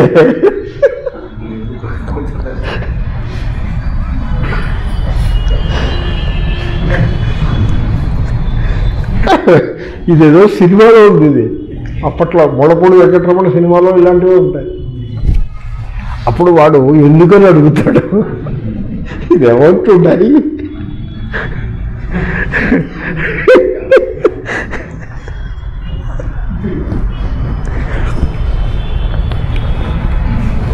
సారీ. అంటే అప్పుడు వాడు వాడు చెప్తాడు అంటే రేపు పొద్దున్న అప్లై చేసుకుంటా జాబ్ జాబ్ ఖాళీ అవుతుంది కదా అక్కడ. అక్కడ అప్లై చేసుకుంటాడు. సంసారం అలాగే ఉంటుంది. సంసారం ఇప్పుడు ఎవరైనా పోయారనుకోండి ఏడుస్తూ ఉంటారు. ఏమంటే మాకు ప్రభుత్వం ఏమైనా పరిహారం ఇస్తుందని అడుగుతారు. మంచిగా మధ్యన ఇలాగే ఎందుకంటే ఈ పొలిటీషియన్స్ వాళ్ళ జేబులో సొమ్ములు కావుగా ప్రభుత్వ ఖజానా ఏదో పరిహారం ఇస్తూ ఉంటారు. ఎవడో పోయాడనుకోండి పరిహారం ఇస్తే కానీ ఈ బాడీ నుంచి ఇక్కడి నుంచి తీయం. అని రోడ్డు మధ్యలో కూర్చున్నాం. అది శవం పెట్టుకుని. ఎవడిస్తాడు పరిహారం? కలెక్టర్ గారు వచ్చి కలెక్టరో మినిస్టరో ఎమ్మెల్యే వచ్చి మేము ఇప్పిస్తామని చెప్తే హామీ ఇస్తే అప్పుడు ఆ బాడీ తీసుకెళ్ళి తగలబెడతారు. లేకపోతే అలా బాడీ అలా పెట్టి కూర్చుంటారు. తర్వాత హామీ ఇస్తే తీసుకెళ్ళి తగలబెడతారు. ఈ హా- వాళ్ళు హామీ ఇచ్చే ప్రభుత్వ ఖజానా నుంచి పోతుంది డబ్బు. వాళ్ళది కాదుగా వాళ్ళ జేబులోంచి ఇచ్చేదేమీ లేదు. ఒకప్పుడు ఇవ్వరు కూడాను. దానికి ఏదో బ్యూరోక్రాటిక్ ప్రొసీజర్ పెట్టి వీడిని తిప్పి తిప్పి వదిలేస్తారు. ఎవడో ఇవ్వరు. Society is a corrupt society. ఈ ప్రభుత్వం corruption అనక్కర్లేదు people are also corrupt. So ఇది ఇది రాజకీయ నాయకులు ఏం చేశారంటే ప్రజలకి కరప్షన్ నేర్పారు. డబ్బిచ్చి ఓటు వేయడం అనేది రాజకీయ నాయకులు నేర్పి పెట్టారు. చచ్చిపోయినప్పుడు పరిహారం ఇవ్వడం అనే దాంట్లో కరప్షన్ అని రాజకీయ నాయకులు నేర్పి పెట్టారు. ఆ పరిహారం కోసం ఆత్మహత్య చేసుకునే రైతులు ఉన్నారు. మీకు తెలుసా అది? రైతు ఆత్మహత్య చేసుకుంటే పరిహారం ఇస్తారు కదా. అందుకోసం ఆత్మహత్య చేసుకుంటాడు కూడా పోనీ నేను పోతేనైనా ఈ కష్టాలు బయటపడతాయి. వాడికేమో కొన్ని కష్టాలు ఉంటాయి. ఈ పరిహారం గురించి చదవగానే మనం పోతే పరిహారం వస్తుంది కదా అని ఆత్మహత్య చేసుకుంటాం వీళ్ళు కనుక ఇంటర్ఫియర్ కాకపోతే వాడు ధైర్యంగా ఎదుర్కొని ఆ కష్టం నుంచి బయటపడతాడు. ఇదంతా సొసైటీ అలా పోతూ ఉంటుంది. ఎనీవే ఈ వరీ యాంక్షస్ ఉద్యోగం వచ్చిన తర్వాత ప్రమోషన్ రాలేదని యాంక్షస్ పెళ్ళి కాలేదే పెళ్ళి కాదేమో అని యాంక్షస్ పెళ్ళి అయిన తర్వాత భార్య చెప్పిన మాట వినదేమో అని యాంక్ష యాంగ్జైటీ చెప్పిన మాట వినదేమో అని యాంగ్జైటీ అంటే వీడి కంట్రోల్లో ఉండాలి. రియల్లీ ఆ కల్చర్ అలాంటిది. That is how we are conditioned భార్య అనేది నా కంట్రోల్లో ఉండాలి. ఆవిడ మోస్ట్లీ అలాగే ఉంటుంది ఆవిడ. అప్పుడప్పుడు దారి అప్పుడప్పుడు తన ఇష్టం ఇష్టం వచ్చినట్టు చేసుకుంటుంది. దానికి వీడు యాంక్షస్ అయిపోతాడు. వదిలిపెట్టలేడు పట్టుకోలేడు. సంసారుల్ని చూసి శ్రీరామకృష్ణ వారు ఏమన్నారో తెలిసిన? ఆయన నడిచి వెళ్తుంటే పా- చేను గట్టు మీద నడిచి వెళ్తుంటే ఒక నీటి పామును చూశాడు. నీటి పాము. దాని బురద పాము అంటారు. అదే విషమే ఉండదు. అది కప్పని మింగింది. ఆ కప్పని లోపల గంట మింగలేదు. బయటికి పారేయలేదు ఆ కప్ప చావదు ఈయన వెళ్ళేప్పుడు అది పరిస్థితి. ఆయన దాంట్లో ఆయన వెళ్ళిపోయారు. మళ్ళీ రెండు మూడు గంటల తర్వాత వస్తే ఇంకా ఆ పరిస్థితి అలాగే ఉంది. ఆ కప్ప చావలేదు ఇది ఇది విడిచిపెట్టలేదు మింగలేదు. రెండు మూడు గంటల తర్వాత కూడా అది అలాగే ఉంది. ఆయన అన్నారు సంసారంలో ఆ నీటి పాములాగా ఉంటారు. వీడు పట్టుకొని ఉండలేడు విడిచిపెట్టను లేడు దాంతో ఏమవుతుంది? విడిచిపెట్టేస్తే కొంత ఫ్రీడమ్. లేదా గట్టిగా పట్టేసుకుంటే కూడా ఫ్రీడమే అది ఉండదు ఇది ఉండదు. అలా యాంగ్జైటీతో బతుకుతాడు. తర్వాత పిల్లల్ని కంటాడు. యాంగ్జైటీ వాళ్ళు పైకి వస్తారు తర్వాత. మళ్ళీ ఎంటైర్ సైకిల్ మళ్ళీ రిపీట్ అవుతుంది వీడి సై- వీడికి రిపీట్ అయిన సైకిల్ కొడుక్కి కూతురికి మళ్ళీ రిపీట్ అవుతూ ఉంటుంది. ఇంకా పెద్ద వయస్సుకు వస్తుంది. పిల్లలు చెప్పిన మాట వినరేమో అని యాంగ్షియస్ ఉంటుంది. తర్వాత పిల్లలు సరైన రెస్పెక్ట్ ఇవ్వరేమో అనే యాంక్షస్ ఉంటుంది. ఇప్పుడు తండ్రికి కొడుకు రెస్పెక్ట్ ఇస్తాడని ఆశ ఉంటుందండి. He he expects it expect చేయకపోతే వాడు మహాత్ముడే. సంసారంలో ఎక్స్పెక్ట్ చేస్తారు. ఎందుకంటే వీడు ఈ కొడుకు కోసం కుక్కపాట్లు పడు ఉంటాడు. అందుకోసమని వీడు పెరిగి పెద్దవాడై స్వతంత్రుడై మనల్ని కొంచెం రెస్పెక్ట్ ఇస్తాడేమో అని ఆశిస్తాడు వాడు ఇవ్వడు. పోనీ వాడు ఇవ్వచ్చు కదా వాడు సొత్తేం పోయింది? రెస్పెక్టేగా డబ్బులు ఇవ్వక్కర్ డబ్బులు ఇవ్వాలంటే భార్యను అడగాలి. రెస్పెక్ట్ ఇవ్వడానికి ఏమి ప్రారంభం? వాడు అది కూడా ఇవ్వడు. వాడు వాడి హడావిలో వాడు ఉంటాడు. రెస్పెక్ట్ ఇవ్వడు. వీడు కుమిలిపోతూ ఉంటాడు. యాంక్షస్ ఇంకా ఈ లోపల రోగాలు. Anxious diabetes. యాంక్షస్ మీకు రహస్యం తెలిసిన? యాంగ్జైటీ వల్ల డయాబెటీస్ వస్తుంది. ఓకే? ఆ వచ్చిన డయాబెటీస్ వల్ల యాంగ్జైటీ పెరుగుతుంది ఈ ఈ విష సర్ విష సర్కిల్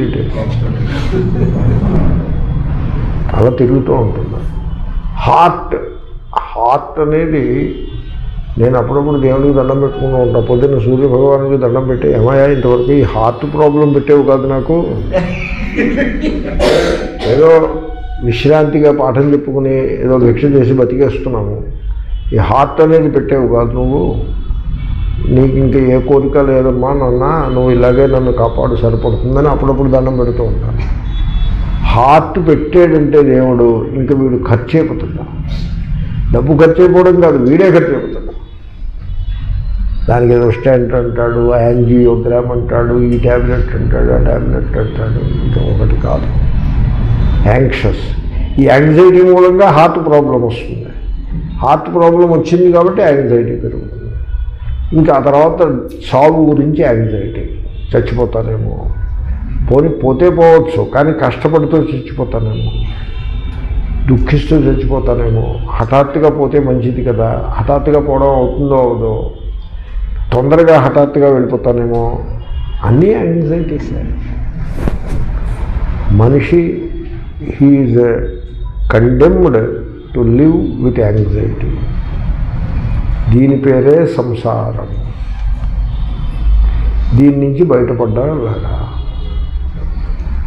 అది విద్యారణ్య స్వామి ఆయన ధోరణిలో ఆయన ఏదో సమాధానం చెప్తున్నారు. అంత అంత సింపుల్ కాదు ఇది. చాలా కాంప్లెక్స్ హ్యూమన్ లైఫ్ సిచ్యువేషను. దీన్ని కొంచెం జాగ్రత్తగా మనం నిర్వహించుకోవాల్సి ఉంటుంది. బట్ ఆయన చెప్పేది ఏమిటో చూద్దాం. ఆయన చెప్పింది కూడా బాగానే ఉంది. యదభావిన తద్భావి భావి చేన్న తదన్యథా ఇది చింతా విషఘ్నోయం బోధో భ్రమ నివర్తక బాగా చెప్పారు చాలా బాగా చెప్పారు ఆయన చూద్దాం యత్ అభావి నా తత్ భావి భావి చేత్ నా తత్ అన్యథా ఇది చింతా విషఘ్న అయం బోధ భ్రమ నివర్తక ఆయన సల- ఆయన ఏమంటున్నారంటే ఈ యాంగ్జైటీకి పరిష్కారము జ్ఞానము. యాంగ్జైటీకి పరిష్కారం రెండే ఉన్నాయండి ఒకటి యాంగ్జైటీ ఎక్కువైతే డాక్టర్ దగ్గరికి వెళ్ళండి. ఆయన ఏదో మందో మాకో ఏదో ఇస్తాడు ఏదో కౌన్సిలింగ్ కూడా చేస్తాడు. ఒక ట్యాబ్లెట్ వేసుకుంటే మీరు రోజు గడుస్తూ ఉంటుంది. అది అంత మంచి పరిష్కారం కాదు బట్ పరిష్కారం ఉన్నది రెండే. అది మొదటిది. ఇది రెండవది రెండే. మూడోది లేదు. మీరేమో ఎర్ర రంగు రాయి ఒత్తు ఉంగరం పెట్టుకుంటే పోతుంది. ఇవన్నీ కూడా నాన్ సెన్స్ అదంతా కూడా cheating there is no truth in it misconception దాన్ని బాగా లోకంలో ప్రచారం చేసుకుంటున్నారు. దానికి మనం ఏం చేస్తాం? అది తప్పు. ఈ రెండే. మీకు ఇది మీరు చదువుకునే దీన్ని అర్థం చేసుకుంటే మీ యాంగ్జైటీ పోతుంది అవుతాం. మీరు అలా పోగొట్టుకోవాలి దాన్ని. లేదా ఎవరి దగ్గర డాక్టర్ దగ్గరికి వెళ్తే వాళ్ళు మందు ఇచ్చి ఇదే చెప్తారు వాళ్ళు. మందు ఇచ్చి ఇదే చెప్తారు. అవసరమైతే మందు వేసుకోవాలి తప్పదు. ఎందుకంటే పెద్ద వయస్సు వచ్చినప్పుడు ఒకనొక వ్యాధి వచ్చి వస్తుంది. ఏదో వ్యాధి వస్తుంది కదండి. ఆ వ్యాధితో పాటుగా డిప్రెషన్ కూడా వస్తుంది. అంచేత డాక్టర్లకి తెలుస్తుంది అది. వాళ్ళు మందిస్తారు ఇప్పుడు ఆ వ్యాధి వచ్చిన ఆయన పెద్ద స్వామి అనుకోండి పెద్ద స్వామి. స్వామికి డిప్రెషన్ ఏమిటి? ఉండకూడదుగా. అంచేత డా కానీ డాక్టర్కి తెలుస్తూ ఉంటుంది. శిష్యులకి తెలియదు. శిష్యులు వీళ్ళు అంధులు. వీళ్ళకి ఏమైనా తెలుసున్న శిష్యులు ఆలోచన ఉన్న శిష్యులు కాదు. ఊరికే డూడు బసవన్న శిష్యులు. అలాంటి శిష్యులు. వాళ్ళకేం ఆలోచన ఏమి ఉండదు. ఊరికే పర్సనాలిటీ వర్షిప్లో పడిపోతూ ఉంటారు. కానీ డాక్టర్లు అలా ఉండరు. అంచేతనే పర్సనాలిటీ వర్షిప్ చేస్తున్న డాక్టర్ చేత వైద్యం చేయించుకోకూడదు. అలాంటి డాక్టర్ చేత మీరు వైద్యం చేయించుకుంటే దానికి విఐపి సిండ్రోమ్ అని పేరు. ఆ రోగం తగ్గదు. వీళ్ళ వైద్యం పనికిరాదు. పర్సనాలిటీ వర్షిప్ లేని డివోటీ కాని వాడి చేత వైద్యం చేసుకోవాలి. వాడు నాస్తికుడైతే మరీ మంచిది. ఎందుకంటే వీడు ఈ వేషం అది చూసి వాడేమీ ఇంప్రెస్ అవ్వడం. ఆ రోగాన్ని బట్టి వైద్యం చేస్తాడు. ఓకే? కాబట్టి ఈ స్వామికి డిప్రెషను. ఎందుకని? ఈ డిప్రెషన్ ఆయన తప్పు కాదు అది. ఆ వ్యాధిని బట్టి వస్తుందండి. ఇప్పుడు ఆ వ్యాధి ఏం చేస్తుంది? సపోజ్ బెడ్ రిడన్ అయినట్టుగా చేసిందనుకోండి. ఇటు అటు లేచి తిరిగే అలవాటు ఉన్న మనిషి బెడ్ రిడన్ అయిపోతే నాలుగు రోజులు ఐదు రోజులు వాడికి యాంగ్జైటీ వచ్చేస్తుంది. ఆ డిప్రెషన్లోకి వెళ్ళిపోతాడు. అది డాక్టర్కి తెలుస్తుంది. అంచేది డాక్టర్ ఏం చేస్తాడంటే ఎవరికి చెప్పకుండా ఓ పిల్లు ఒకటి పడేస్తాడు. నర్సుతో చెప్తాడు. ఆ పిల్లు ఇవ్వాలి అదేమిటండి బాబు అది డిప్రెషన్ పిల్లు కదా అంటే ఏం పర్వాలేదు ఎవరికి చెప్పకు. ఆ- లేబుల్ తీసేసి ఆ పిల్లు రహస్యంగా పెట్టుకుని అది చింపి అవతల పారే ఇలా ముక్కలు కింద చేసి అవతల పారేసి ఆ పిల్లు ఆయనకి వేస్తూ ఉంటుంది అలా ఇస్తారు డిప్రెషన్ మెడిసిన్. పెద్ద పెద్ద వాళ్ళకు కూడా. అంటే నేను ఇది ఎందుకు చెప్పానంటే మనిషికి యాంగ్జైటీ అన్నది is an issue it's an issue ఇప్పుడు మీకు సత్సంగం అనేది ఒకటి ఉన్నది కనుక మీకు అందరు లోకంలో ఉండి వాళ్ళకు ఉన్నంత యాంగ్జైటీ మీకు ఉండదు. లోకంలో ఉండి వాళ్ళకు ఉన్నన్ని కోరికలు మీకు ఉండవు. వాళ్ళకున్నన్ని భయాలు మీకు ఉండవు వాళ్ళకున్నంత యాంగ్జైటీ మీకు ఉండదు వాళ్ళకున్నంత లోభం మీకు ఉండదు మరి సత్సంగం అంటే ఏమిటనుకుంటున్నారు? సత్సంగం అంటే మరి దాని విలువది దాని విలువ మీకు తెలియదు ఆరోగ్యం విలువ ఎప్పుడు తెలుస్తుంది? రోగం వస్తే తెలుస్తుంది. రోగం రాకపోతే వాడికి ఆరోగ్యం విలువ తెలియకుండానే ఉండిపోతుంది. కాబట్టి సత్సంగం యొక్క విలువ ఏమిటంటే యాంగ్జైటీ లోకంలో ఉన్న వాళ్ళకు ఉన్నంత మీకు ఉండదు. కాబట్టి ఆ సత్సంగానికి ఆ పవర్ ఉన్నది. ఆ జ్ఞానమునకు ఆ పవర్ కాబట్టి జ్ఞానముతోటి జ్ఞానం అంటే clarity of thought correct understanding తోటి మీరు ఈ యాంగ్జైటీని సాల్వ్ చేసుకోవచ్చును. ఏమిటా అండర్స్టాండింగ్ ఏమిటంటే ఎత్ ఏదైతే అభావి ఘటిల్లేది కాదో ఘటిల్లుట అంటే అగుట అవడం హ్యాపెన్ అది అయ్యేది కాదు.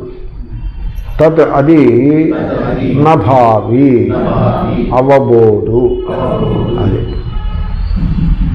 ఇప్పుడు ఒక ఆయన వాళ్ళ అబ్బాయి చదువు గురించి బెంగపెట్టుకున్నాడు నేను చెప్పాను మీ కుడాడు చదువు గురించి బెంగపెట్టుకోగయా వాడు ఆ ఇంజనీరింగ్ వాడేం పాస్ కాడు? వాడికి లెక్కలు రావు వాడికి ఆ- ఆ సెన్స్ లేదు లెక్కల సెన్స్ లేదు వాడికి. వాడికి ఇంజనీరింగ్ అవ్వదు అది. అది అలాగే ఉంటాడు వాడు. మరి అయితే ఏం చెప్పి చక్కగా బిజినెస్ పెట్టు. బిజినెస్ మ్యాన్ నీ బిజినెస్లో పెట్టుకో. లేకపోతే బీకామ్ చదివించుకో. లేకపోతే బిజినెస్లో పెట్టుకో. రాణిస్తాడు. నీకు చేతికి అందొస్తాడు అంతేగాని వాడు ఇంజనీర్ అవ్వాలని కూర్చుంటే అది వర్కౌట్ కాదు. అంతేనంటారా? అంతే. మరి నా భార్య వింటలేదు మరి ఆవిడికి నచ్చ చెప్పు. ఈ పని ఆయన చేశాడు. వెంటనే చేయలేదు. ఆరు మాసాల తర్వాత చేశాడు. ఈ ఆరు మాసాలు చింతన అనుభవించి ఆరు మాసాల తర్వాత చేసి అమ్మాయ భగవంతుడా అని తేలికపడ్డాడు. కాబట్టి ఏది అభావి ఏది ఏది ఘటిల్లేది కాదో అది ఘటిల్లదు. ఇప్పుడు నాకు జుట్టు రావాలి నా బ్యా బాల్డ్ హెడ్ పోవాలి జుట్టు రావాలంటే ఎక్కడి నుంచి వస్తుంది? రాదు. ఓకే. అలాగే సంసారం కూడా అలాగే ఉంటుంది. అది ఇంకా ఈ మాట కాదు. తర్వాత భావిచేత్. ఘటిల్లేదైతే తత్ అది అన్యథ. ఇంకో రకముగా నా అవదు. ఒకవేళ ఘటిల్లేదే అనుకోండి అది ఇంకో రకంగా అవనే అవదు. ఇంకో రకంగా అవదు. ఘటిల్లేది ఘటిల్లి తీరును. నేను చాలామందికి చెప్తా మా పూర్వం ఏమనేవారంటే మా అమ్మాయి పెళ్ళి అవ్వటం లేదు అని బెంగ పెట్టుకునేవారు యాంగ్షసిటీ యాంగ్జస్ అవకాయ యాంగ్జైటీ పెట్టుకోకు marriages are made in heaven marriage అయ్యే సందర్భం ఉంటే తప్పకుండా అయి తీరుతుంది. నువ్వు యాంగ్జైటీ పెట్టుకోకు అని నేను చెప్తూ ఉంటాను. కొంతమంది వింటారు. విని హ్యాపీగా ఉంటారు. ఈ లోపల మ్యారేజ్ అవుతుంది. కొంతమంది వినరు. అలా యాంగ్షియస్గా ఉంటారు. ఈ లోపల మ్యారేజ్ అవుతుంది కాబట్టి you you choose what you what you choose అంతే. ఒకప్పుడు ఇప్పుడు కొడుకు పెళ్ళిళ్ళ గురించి బెంగలు పెట్టుకున్నారు. ఇప్పుడు కూతురు పెళ్ళి గురించి ఎవరికి బెంగే లేదు. కొడుకు పెళ్ళి గురించి బెంగ కొడుకు పెళ్ళి అవుతుందో పెళ్ళి అవుతారు ఎందుకంటే అమ్మాయిలు పెళ్ళి ఆడడం మానేశారు. వాడికి నచ్చిన వాళ్ళే పెళ్ళి ఆడతారు వాడిని అక్కడ నిలబడే అక్కడ నిలబడరా? చెప్పు నీ సంగతి ఏమిటో చెప్పు. అని వాడి సా వాడి లక్షణాలన్నీ పరిశీలించి పెళ్ళాడతారు. పెళ్ళి చేసుకోవటం లేదు. నేను ఒక మంచి వేద విద్వాంసుని ఎరుగుతున్నాను అతన్ని పెళ్ళాడడానికి ఆ అమ్మాయి ఎవరు ముందుకు రాలేదు. మంచి సంపాదన ఉంది అతనికి. మంచి విద్వాంసుడు తిరుపతి దేవస్థానం వాళ్ళ ఉద్యోగం మంచి సంపాదన. నెలకి ఇరవై వేలు ఎంతో సంపాదిస్తాడు. ఏ అమ్మాయి అతన్ని పెళ్ళాడలేదు. అంతకంటే తక్కువ జీతగాడిని పెళ్ళాడాను తప్ప అతన్ని పెళ్ళాడలేదు. ఎందుకని? పిల్లకాది పెట్టుకుని ఉంటాడు. ఇంకో అమ్మాయిని చూశాను ఎంటెక్ పాస్ అయింది. ఎంటెక్ ఎంఎస్ ఎంటెక్ అనుకుంటా. ఎంటెక్ లేదా బీటెక్ బీటెక్ ఎంటెక్కే ఎంటెక్కే అయితే ఎంబీఏ పాస్ అయింది. వేద పండితుడిని పెళ్ళాడింది. ఎందుకంటే ఆ వేద పండితుడికి స్టేటస్ ఉంది సొసైటీలో. మంచి ఉద్యోగం ఉంది వేద పండితులకు ఉద్యోగాలు ఉంటాయి. వాళ్ళు కొంచెం కొద్ది గొప్ప ఉన్నవాళ్ళు. ఇంక ఈ పిలక ఒక్కటే అడ్డు. ఎవరో నచ్చ చెప్పారు ఆ పిలక తీయడం కుదరదు ఎందుకంటే పిలక తీస్తే ఉద్యోగం అయిపోతుంది. కాబట్టి ఆయన పిలకతో ఉంటాడు. అప్పుడప్పుడు సినిమా హాల్కి వెళ్ళేప్పుడు ప్యాంటు వేసుకోవచ్చు తప్పేం కాదు. ఏ పైకి ఏదో తు- చుట్టుకోవచ్చు పిలక ఉంటుంది. అది ఒక్కటే అడ్డు. కానీ బంగారం లాంటి మొగుడు. నీకు చెప్పు చేతల్లో ఉంటాడు. చాలా మంచివాడు. అని ఎవరో నచ్చ చెప్తే ఆ అమ్మాయి సరే అని పెళ్ళాడింది. దే ఆర్ హ్యాపీ కాబట్టి అయ్యేదేదో అవుతుంది. అవన్నీ నువ్వేం చేసినా అవదు. ఇది అని అయం ఈ బోధ జ్ఞానము చింతా విషఘ్న యాంగ్జైటీ అనే విషమును పోగొట్టేది. భ్రమ నివర్తక భ్రమలను పోగొట్టేది. కాబట్టి మీరు జీ జీవితాన్ని ఎలా ఎదురు చాలా గొప్ప బోధ ఇది. మీరు జీవితాన్ని ఎలా ఎదుర్కోవాలో తెలిసిన ఒక బ్లూ ప్రింట్ మనస్సులో పెట్టుకుని జీవితం ఇలా ఉండాలి అని అలా ఎదుర్కోకూడదు. మీరు అనుకున్నట్టు జీవితం ఉంటే ఆ జీవితంలో ఇంకా ఛాలెంజ్ ఏముంది? కొత్తదనం ఏమున్నది? థ్రిల్ ఏమున్నది? బోధ శోభ ఏమున్నది? మీరు అనుకున్నట్టు జీవితం ఉండకూడదు. జీవితం నేను అనుకున్నట్టు ఉండాలి అని అనుకోకూడదు. తప్పది. మరి ఏమనుకోవాలో తెలుసునండి? జీవితము it's a new thing every day every day is a new day and every situation is a new situation new challenge నేను ఫేస్ చేస్తాను. నాకు ఈశ్వరుడు అనుగ్రహము గలదు ఈశ్వరుని యొక్క భరోసాతోటి జీవితంలో ఎదురయ్యేటువంటి పరిస్థితులను వాటికి సుఖ దుఃఖములని పేరు పెట్టద్దు. సుఖము కాదు దుఃఖము కాదు. పరిస్థితి అంటే ఘటన. ఈ ఘటనలను నేను ఒక భ ఈశ్వరునిపై భరోసాతోటి ధైర్యంతో సాహసంతో నేను ఫేస్ చేసుకుంటాను. అంతే తప్ప దీనికి భయపడుతూ కూర్చుంటామా? అనే బోధలో బతకాలి తప్ప ఇలాగే అవ్వాలి జీవితము అనే ఒక టా ఒక టార్గెట్ పెట్టుకుని టార్గెట్ పెట్టుకోకూడదు. టార్గెట్ పెట్టుకున్నవాడు ఖర్చే బతక వాడు సుఖంగా బతకలేడు. టార్గెట్ ఏమిటి జీవితానికి? టార్గెట్ అంటే ఫ్యూచరు. ప్రజెంట్లో టార్గెట్లే ఉండవు. ప్రజెంట్లో పరిస్థితులు ఉంటాయి మన రెస్పాన్స్ ఉంటుంది. అంతే. అండ్ పరిస్థితి ప్రతిదీ కొత్తదే. మీ మెమరీ ఏం చేస్తుందంటే దాన్ని పాతదాంతో పోలుస్తుంది. అది పాతదాంతో పోల్చేది కాదు కొత్తది. ప్రతి బ్లడ్ టెస్టు కొత్తదే. ప్రతి పరిస్థితి కొత్తదే. కాబట్టి కొత్తదాన్ని కొత్తదనంతో మనం ఎదుర్కోవాలి. మెమరీతో ఎదుర్కోకూడదు. కాబట్టి I will face the challenge I will accept the things as they come and then respond ఆ రకంగా జీవితాన్ని మీరు కనుక చూసుకున్నట్లయితే ఆ యాంగ్జైటీ స్థానంలో ఒక ఒక కొత్తదనము ఫ్రెష్నెస్ ఆఫ్ అప్రోచ్ ఒక క్లారిటీ ఆఫ్ థింకింగ్ అవి వస్తాయి. యాంగ్జైటీ పోతుంది. కాబట్టి ఆ రకంగా జీవించాలి అని శ్లోకం చెప్తోంది. చాలా మంచి శ్లోకం. యదభావి నద్భావి భావి. చేన్న తదన్యథా. ఇది చింతా విషఘ్నోయం బోధో భ్రమ నివర్తక నిర్బంధ తర్వాత శ్లోకం. బుధవారం నాడు మనం ఆ శ్లోకాన్ని చూద్దాము. రేపు బులారం క్లాస్ ఉంది. బుధవారం బాగా వర్షం ఉంటే క్లాస్ క్యాన్సిల్ అయ్యే అవకాశం ఉంటుంది. అది మీకు వాట్సాప్ వస్తుంది. ఓకే? ఓం పూర్ణముద పూర్ణమిదం పూర్ణ పూర్ణముద్యతే పూర్ణస్య పూర్ణమాదాయ పూర్ణమేవాశిష్యతే శాంతి శాంతి శాంతి మీకు ఫ్యూచర్ అంటే రాబోయే తెలి తెలుసుంటే మంచిది అనుకుంటే చెప్తాను. ఎనిమిది ఎనిమిదో తారీఖు నుంచి పంతొమ్మిదవ తారీఖు వరకు ఆ తారీఖుని గుర్తుపెట్టుకోండి eight to nineteen including both days ఇటు కూడా. Eight nineteen including eight and nineteen నేను ఉండుటలేదు. ఓకే? ఈ మాట నేను బుధవారం చెప్దాం అనుకుంటున్నాను పోలే కొంచెం ముందు చెప్తే మీరు ఏదైనా మీకు ఏదైనా ప్లాన్ ఉంటే మంచిదని చెప్పాను ట్వంటీ ఎయిత్ నేను ఉంటాను. ఆ తర్వాత క్లాసులు ఉంటాయి. ఓకే? ట్వంటీ ఎయిత్ ట్యూస్డే అయితే ట్యూస్డే బొలారం క్లాస్ ఉంటుంది. ట్వంటీ ఫస్ట్ ఈ మాట బుధవారం నాడు గుర్తు చేస్తాను. ఓ.